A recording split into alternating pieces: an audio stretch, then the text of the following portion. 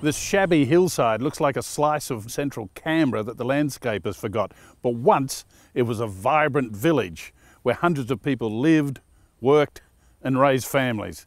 This was the site of Westlake, the Canberra suburb that was erased.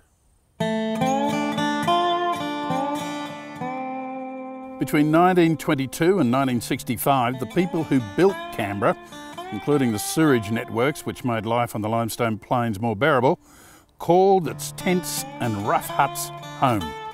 They sent their children to local schools and fostered their own proud community.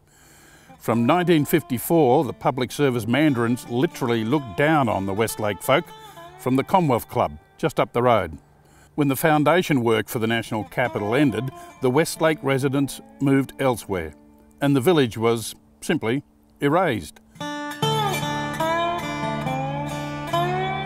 Only a few plaques on the site tell us that it ever existed.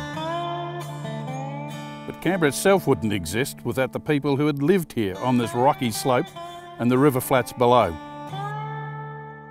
Across the road from Westlake begins the stunning architecture of Canberra's diplomatic precinct.